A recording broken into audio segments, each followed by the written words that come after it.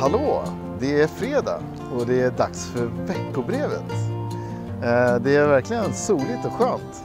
Eh, det börjar verkligen se fint ut ute och det börjar bli varmare. Det känns jätteskönt.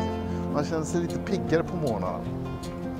Just nu håller ni på med era Wordpress-projekt, alltså kampanjen. Eh, och det inkluderar lite andra saker också.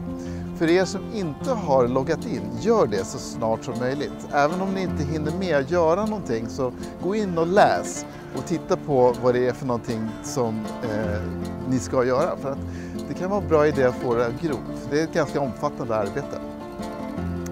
Jag håller ju också på just nu att göra, ge er feedback på projekten som ni gjorde eh, tidigare.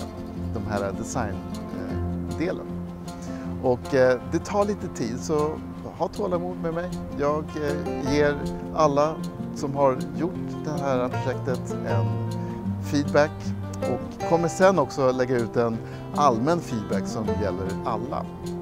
Så ni kan gå in och titta på det sen. Det är en väldigt speciell dag för mig idag faktiskt. Det är fredagstipset som jag ger ut. Jag ger ut den varje fredag. Och idag så lägger jag ut den hundrade fredagstipset. Så det känns lite skoj faktiskt. Det är hundra stycken. Det är häftigt. Och eh, jag skulle också vilja säga att om det skulle vara någonting som ni är nyfikna på att titta på, se vad det är för någonting jag håller på med när det gäller fredagstipsen, så har jag en hemsida som ni kan gå in och titta på. För där har jag kategoriserat alla fredagstips och det blir lite lättare att se.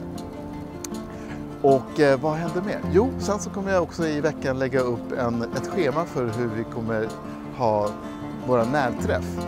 På närträffen kommer vi bland annat titta på den här, kampan den här kampanjen som jag håller på med just nu.